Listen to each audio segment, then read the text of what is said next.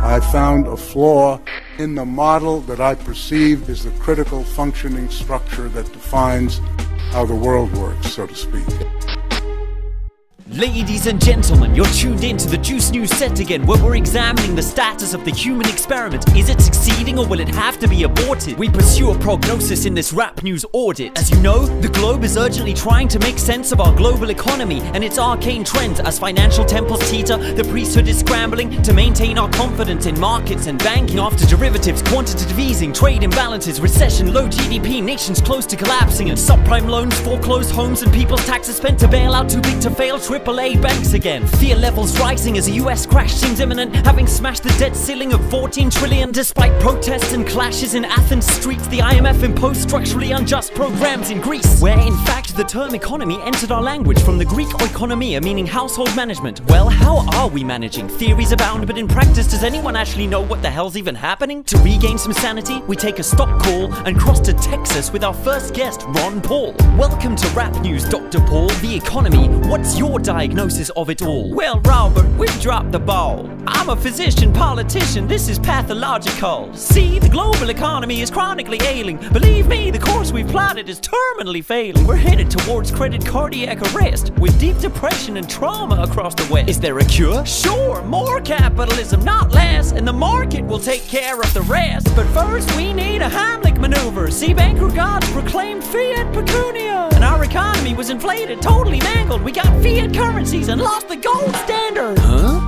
Money is a worthless commodity. It's the biggest fraud in the history of humanity. All this must cast doubt on the capitalist system. Is it just another pretty theory, like communism? Oh no, you see, this ain't capitalism. The gospel of free marketism, Adam Smith's religion has been perverted by fiscal heathens, and what we now have is the cabal of corporatism. When state and business lucratively merge. Yes, exemplified by the system of the Central Reserve. But we don't need to borrow more to pay their debt, cause I'm campaigning to end the Fed. Uh, thank you, Ron. Now for another fine mind on the online frequencies, the director behind Zeitgeist on the line live, documentary filmmaker Peter Joseph. Thank you, Robert, for allowing me to speak this moment. But before I deliver my deep prognosis, we need a sweet opus, a marimba line to keep us focused.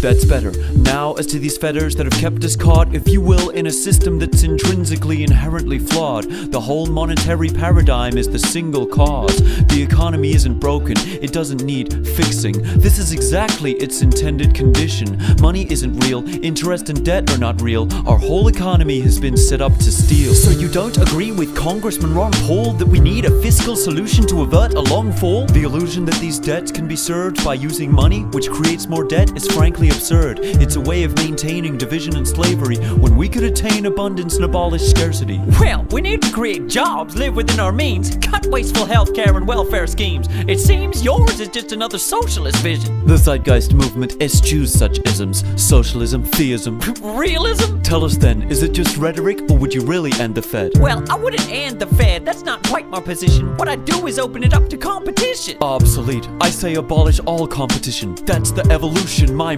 movement is triggering. Evolution's just a theory. We need the full picture. Believe me, we need to have faith in a sound scripture. This is the real Bible, Zeitgeist moving forward. What's that? Some kind of Austrian gay porno? Ask your boyfriend, Bruno. You pissant! Geriatric. Talk to the invisible hand. Okay, thank you for your sage contributions and brave attempts to alleviate our confusion. Online, you've both inspired and led movements, jogging our memories, revealing hidden truths, and in sooth, you both hold enlightening views. But time's running out. Do you have a practical solution? Indeed, I believe I have seen a prospect. I introduce Jacques Fresco, our era's prophet, whose shiny technology could cease this conflict. Shut up, Peter. I'm the centerpiece of the Venus Project. The economy? I've watched our problems grow, and my attitude's the same. Their shit's got to go.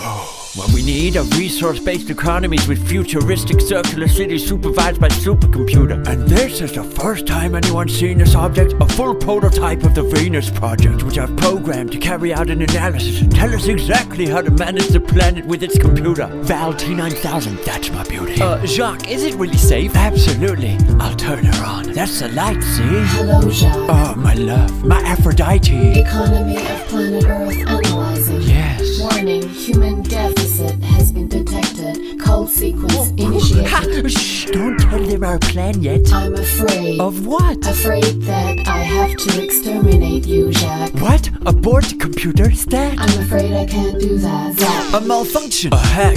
Wrong humans, this is no virus you're seeing. I'm a fully rational, intelligent cyber being. I've conducted a global economic analysis and concluded that planet Earth is being ravaged as a result of a parasite, Homo sapiens. Required economic action, total liquidation. Is that the solution? Depopulation? Initiation. My next film will avoid such delusions. But for now, who'll save us? It's a story of a lost global economy under attack from a rampaging, genocidal, utopian robot. One man had stood apart, stood strong and true. Here I am with my gold bot, 44 carats. Goldie, let him have it. Carry forth the gold standard. Capital crimes call for capitalist punishment. A glimpse of the future with a Ron Paul government.